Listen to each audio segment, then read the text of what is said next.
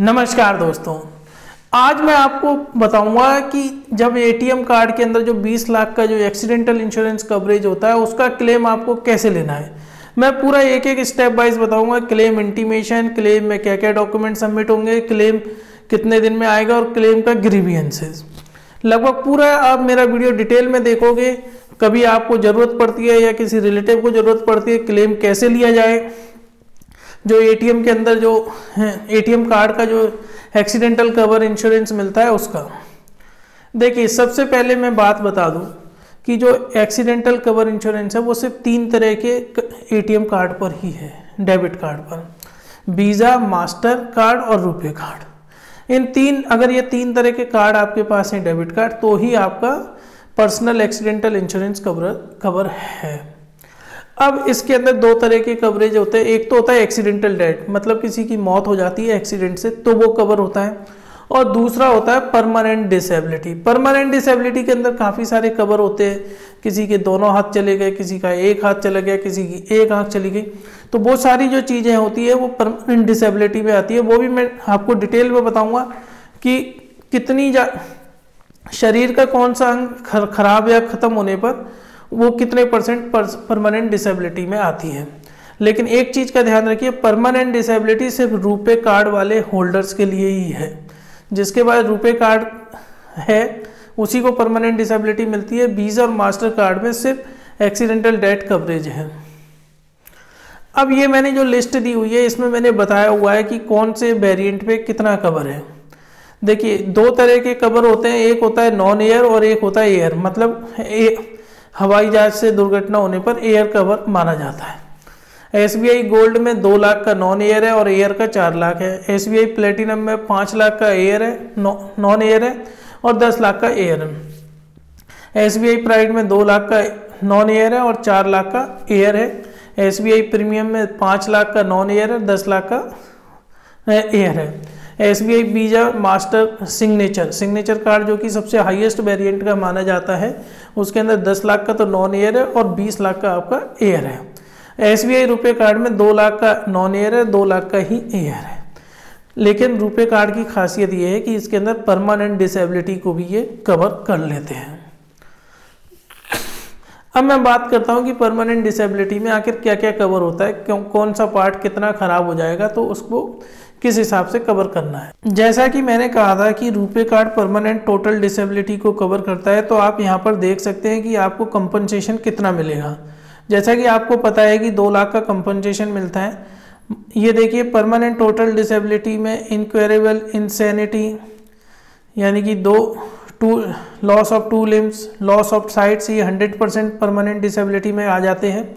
Loss of एक आँख का कोना या एक टांग का कटना लॉस ऑफ़ स्पीच भी 100 परसेंट में आता है कि एक्सीडेंट की वजह से अगर किसी की बोली चली जाती है तो वो भी 100 परसेंट में आ जाता है। Loss of mastication loss of यानी कि ये सारा देख सकते हैं लॉस ऑफ़ हियरिंग है, वो 75 परसेंट में आता है। अगर किसी की सिर्फ़ एक ही टांग काटनी पड़ी है एक्सीडेंट की वजह से तो वो 50 परसेंट के अंदर आता है। एक आँख 50 परसेंट के अंदर। इस तरीके से आप देख सकते हैं ये जो फिफ्टी परसेंट है, ये मतलब दो लाख के अंदर इतना क्लेम आपको मिल जाएगा। मान के चलिए, अगर किसी का ट्वेंटी परसेंट आ रखा है तो दो लाख का होता है ये चालीस हज़ार। चालीस हज़ार का क्लेम उसको मिल जाएगा। और भी चीज़ें हैं, किसी के थ्री जॉइंट टू जॉइंट अगर परमानेंटली लॉस हो जाते हैं वन फुट ऑल अगर जो टॉस है, यानी कि जो उंगलियाँ हैं, पैर की, वो भी अगर डैमेज होती हैं तो दो परसेंट पाँच परसेंट इस तरीके से हर चीज़ का कुछ ना कुछ है इंश्योरेंस तो आप एक बार इसमें गो थ्रू कर लीजिएगा। और ये जो चीज़ है, ये आपको मिलेगी अगर यदि आपको अगर आप इसको देखना चाहते हैं तो आप यहाँ पर गूगल पे जाके सर्च कर सकते हैं। गूगल पे जाके आप तब सर्च करेंगे S B I personal accidental insurance आप लिख सकते हैं personal accidental insurance cover for A T M Google पे आप सर्च करेंगे तो आप यहाँ पर देख सकते हैं। ये जो आएगा कार्ड का इंश्योरेंस कवर अवेलेबल पहला पेज ही देखिए, यहाँ पर खुल गया है, यहाँ पर ये सारी डिटेल्स वगैरह दी हुई हैं। और सबसे इम्पोर्टेंट ये जो ये क्लेम रिलेटेड यानी कि आठ आठ दो हज़ार बाईस के बाद जो है वीज़ा मास्टर कार्ड की इन्फॉर्मेशन यहाँ पर दी हुई है। रुपये कार्ड के फ्रिक्वेंटली आस्क क्वेश्चन वगैरह यहाँ पे दी हुए हैं। इन सबको आप डाउनलोड करके देख सकते हैं। ये एसबीआई की ऑफिशियल वेबसाइट है। अब बात करते हैं टर्म्स एंड कंडीशंस की। देखिए, जब भी कोई इंश्योरेंस कंपनी आपको इंश्योरेंस देती है तो वो कुछ ऐसी स्ट्रिक्ट टर्म्स कंडीशंस फॉलो करने को बोलती है, जो बाकायदा ज़रूरी भी है। इसमें आप सिर्फ़ दो तीन ही टर्म्स कंडीशन है, जिनका विशेष ध्यान रखना है। देखिए, अगर आपने एटीएम और डेबिट कार्ड को 90 दिन के अंदर यूज़ किया है मास्टर वीज़ा चाहे रुपये बस एक कंडीशन ये है मास्टर और वीज़ा में कोई ना कोई फाइनेंशियल ट्रांजेक्शन आपने किया हो। मतलब आपने ऑनलाइन शॉपिंग करी हो या एटीएम से कैश विड्रॉल किया हो तो वो काउंट होता है। जबकि रुपए कार्ड में नॉन फाइनेंशियल ट्रांजेक्शन भी काउंट हो जाते हैं नब्बे दिन के अंदर।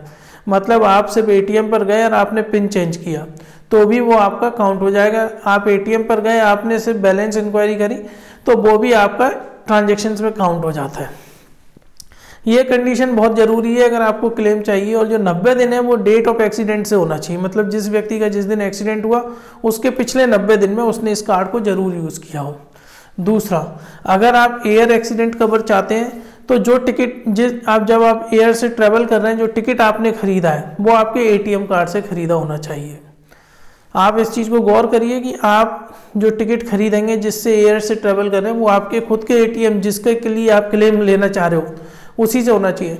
ऐसा ना हो कि आपका एयर का टिकट आपकी कंपनी ने खरीदा हो या फ्रेंड्स या रिलेटिव ने खरीदा हो और आप क्लेम करने चले जाएँ तो क्लेम नहीं मिलेगा। एयर का क्लेम नहीं मिलेगा नॉन एयर का क्लेम उसमें कन्वर्ट हो जाएगा। अब सबसे इंपॉर्टेंट मुद्दे क्लेम पर आते हैं। देखिए, कोई भी इंश्योरेंस हो, चाहे हेल्थ इंश्योरेंस हो मोटर इंश्योरेंस हो, चाहे किसी पर टर्म इंश्योरेंस हो क्लेम में तीन प्रोसेस फॉलो किए जाते हैं। सबसे पहला होता है इंटीमेशन ऑफ़ क्लेम मतलब कि आप क्लेम लेना चाहते हैं, इसकी इंटीमेशन आपको इंश्योरेंस कंपनी को देनी होती है। दूसरा स्टेप होता है कि जो भी डॉक्यूमेंट रिक्वायर्ड डॉक्यूमेंट है क्लेम के लिए, वो आपको इकट्ठे करके इंश्योरेंस कंपनी को भेजने होते हैं। तीसरा कि कंपनी आपका क्लेम सेटल करती है मतलब आपको पे आउट देती है जो कि ड्राफ्ट एन ई के फॉर्म से आपको मिल सकता है।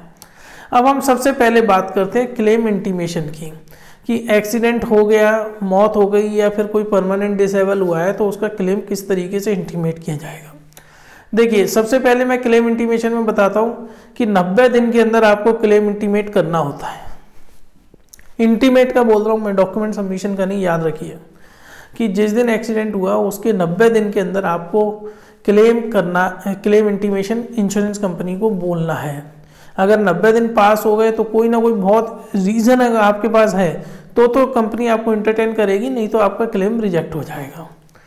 अब दूसरी बात करते हैं कि क्या प्रोसेस है। जैसे सबसे पहले मैं मास्टर और वीज़ा कार्ड के लिए बात करता हूँ कि इसके अंदर अगर आपको क्लेम इंटीमेट करना है तो उसका क्या प्रोसेस है? देखिए, मैं आपको वीडियो के माध्यम से बताता हूँ जो इसकी जो वेबसाइट है, जो SBI की जो ऑफिशियल वेबसाइट है, वहाँ पर क्या प्रोसेस दिया हुआ है। जब आप वीज़ा और मास्टर कार्ड का क्लेम इंटीमेट करेंगे तो आपको याद रखना ये पॉलिसी नंबर आपको हर जगह कोट करनी है। आप या तो डायरेक्ट कॉल सेंटर पे कॉल कर सकते हैं, या ईमेल या ऑनलाइन के माध्यम से भी कर सकते हैं। अगर आप ईमेल कर रहे हैं तो आप ये वाला फॉर्मेट डाउनलोड कर लीजिए। इसका प्रिंट आउट निकाल के इसको फिलअप करके आपको ये ईमेल कर देना है। ईमेल एड्रेस यहाँ पर ऊपर दिए हुए हैं। I health care at the rate I C C Lombard dot com या इन, इनको सी में रख सकते हैं। इस तरीके से आप क्लेम इंटीमेट करेंगे। इसमें आप क्लेम या तो फ़ोन के माध्यम से या ईमेल के माध्यम से और बहुत अच्छा इसके अंदर आई सी लॉम्बार्ड ने सुविधा दी हुई है कि आप उनकी वेबसाइट पे जाके भी क्लेम कर सकते हैं। जब आप उनकी website I L H S C I C Lombard dot com visit करेंगे तो आपको पर्सनल एक्सीडेंट का एक वो दिखेगा। ये देखिए जो एरो निशान है वहाँ पर, उसको तब आप ओपन करेंगे तो आपको सारी डिटेल्स वगैरह डालनी होगी। यहाँ पर आपको चैनल पार्टनर सेलेक्ट करना होगा, फिर सारी डिटेल्स वगैरह डालेंगे। और एक चीज़ का ध्यान रखें कि जो पॉलिसी है, वह वह भी आपको यहाँ पर डालनी है। पॉलिसी नंबर मैंने आपको शुरू में बताया था।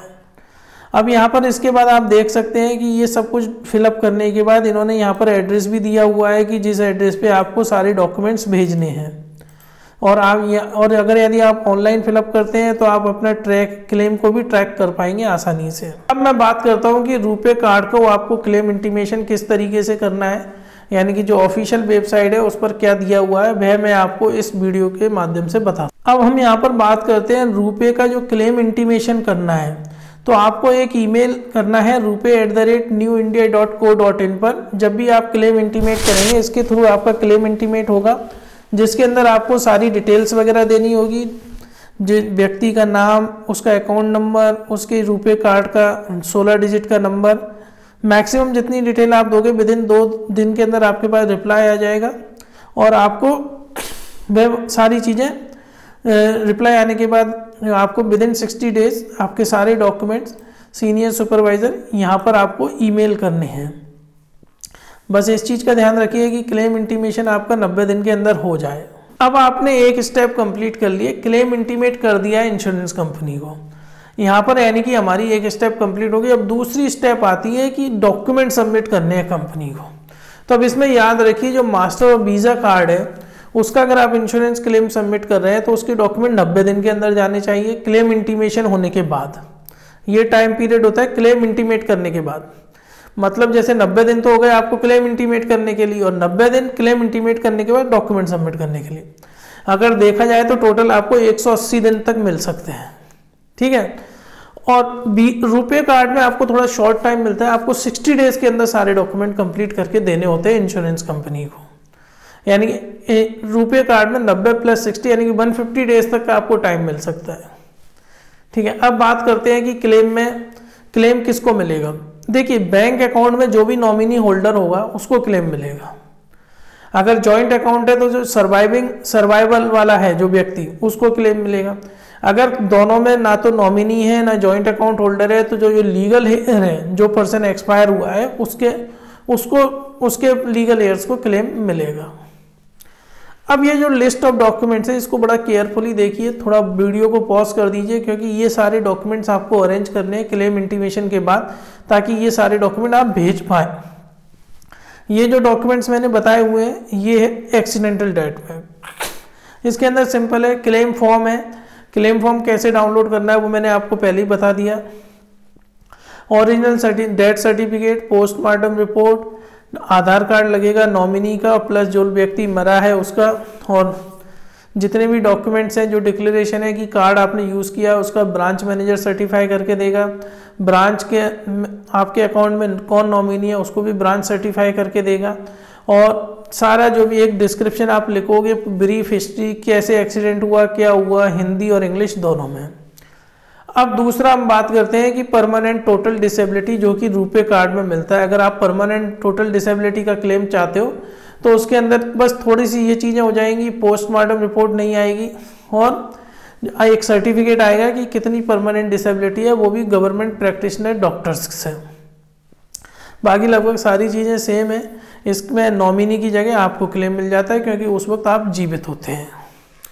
तो ये सारी डिटेल आप बिल्कुल नोट कर सकते हैं किसी भी पेन पर, ताकि आपको याद रहे। जब आप ये सारे सेट ऑफ़ डॉक्यूमेंट कंप्लीट कर लेते हैं, उसके बाद ये आपको भेजने होते हैं।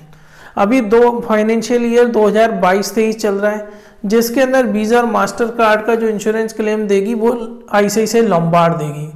अगर आप साल भर या छः महीने बाद इस वीडियो को देखें तो एक बार क्रॉस चेक कर लें कि इस वक्त कौन सी इंश्योरेंस कंपनी आपका क्लेम देगी। क्योंकि हर साल इंश्योरेंस कंपनियाँ चेंज होती रहती हैं। तो जो सेट ऑफ़ डॉक्यूमेंट्स है आई लॉम्बार्ड में वो उन, आप उनके हैदराबाद ऑफ़िस में भेजोगे। और वहीं पर रुपए कार्ड के जो सेट ऑफ़ डॉक्यूमेंट है वो न्यू इंडिया इंश्योरेंस कंपनी को जाएँगे। ये एड्रेस मैंने यहाँ पर दिया हुआ है। लेकिन आप जब भी अगर ये वीडियो छः महीने या साल भर बाद देख रहे हैं तो एक बार थोड़ा कंफर्म कर लें वेबसाइट पे जाके कि किस एड्रेस पर भेजना है। या कस्टमर केयर पे आप कंफर्म कर लें कि क्या बात करनी है। एक चीज़ याद रखिए, जितने भी सेट ऑफ़ डॉक्यूमेंट्स है, उस पर आप जो क्लेम क्लेम इंटीमेट किया है तो क्लेम इंटीमेशन का एक नंबर आता है। वो नंबर आपको हर जगह प्रिंट करके रखना है, हर हर डॉक्यूमेंट पे लिख के रखना है, और जो फॉरवर्डिंग लेटर होगा, उस पर भी आपको क्लेम इंटीमेशन नंबर लिख के देना है, क्योंकि उसी से ही आपकी पूरी हिस्ट्री चल, चालू रहेगी। अब बात करते हैं कि आपने सारे डॉक्यूमेंट भेज दिए, बीमा कंपनी को 90 दिन और 60 दिन के अंदर रुपए काट के लिए। अगर उसमें कुछ कमी लगती है बीमा कंपनी को या कुछ क्लैरिफिकेशन चाहिए होता है तो वो आपको ईमेल या फ़ोन के द्वारा इंटीमेट करते हैं और आप उस कमी को कंप्लीट कर दीजिए। कोई कमियाँ जनरली एक दो कमियाँ हर जगह होती है। मैंने भी जब एसबीआई आरोग्य का तब हेल्थ इंश्योरेंस क्लेम लिया था तो कुछ कमियाँ थी तो एक दो लेटर भेजने के बाद, वो सब कमियाँ पूरी करने के बाद सब हो जाता है। अब बात करते हैं क्लेम सेटलमेंट की। कि भाई आप बीमा कंपनी ने जो कमियाँ बताई, वो आपने कर दी, सारे डॉक्यूमेंट भेज दिए, बीमा कंपनी ने भी कह दिया कि अब हमें आपसे किसी तरह के कोई डॉक्यूमेंट की ज़रूरत नहीं है और जो भी रिलेवेंट डॉक्यूमेंट थे वो आपने बीमा कंपनी में भेज दिए तो इसके बाद जो आप बीमा कंपनी के पास तीस दिन का टाइम होता है। सारे चेक्स वगैरह लगाने के स्क्रूटनाइज करने पे मेडिकल रिपोर्ट वगैरह सब देखने के लिए तीस दिन के अंदर उसको आपको क्लेम देना होता है। देखिए, तीस दिन के भीतर अगर यदि क्लेम नहीं मिलता तो उसके लिए भी ग्रीवेंस और कंप्लेन मैकेनिज्म है।